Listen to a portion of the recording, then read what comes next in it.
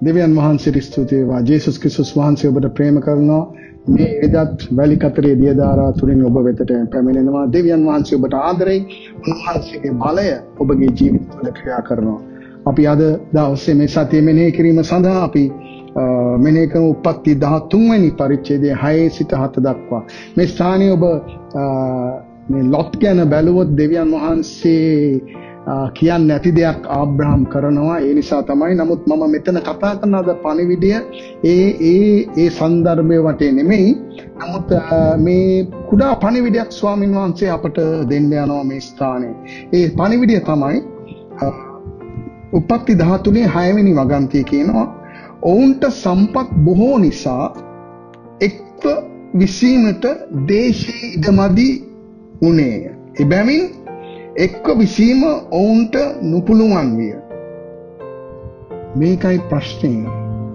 තමන්ගේ සම්පත් වැඩිවීම නිසා එක්ව විසීම ප්‍රශ්නයක් වෙලා දෙන. ඒ නිසා අද දෙවියන් වහන්සේ ඔබටයි මටයි කතා කරන්න උන්වහන්සේගේ වචනය තුලින් උන්වහන්සේ කියනවා සම්පත් වැඩිවීම සාමාන්‍යයෙන් භයානකයි. හොඳයි. සම්පත් වැඩිවීම තුළ අපගේ සම්බන්ධකම් වලට බාධා එන්න පුළුවන්.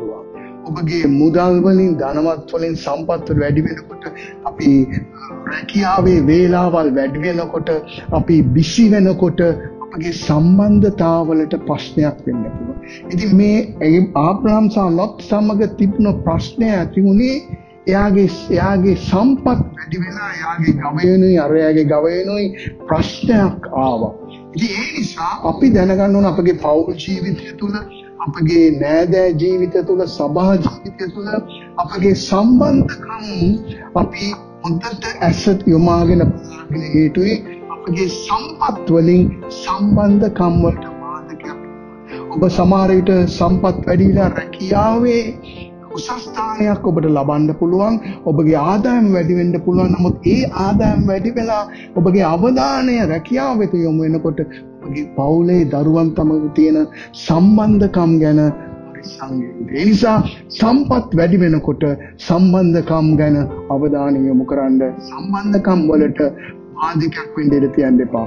ජේසුස් වහන්සේ ඔබට ආදරේ උන්වහන්සේ ළඟදිම පැමිණෙන අපව ගෙන යන්න. අපි සෞද බයිබල් පන්තියේදී මුණ ගැහුම් ජේසුස්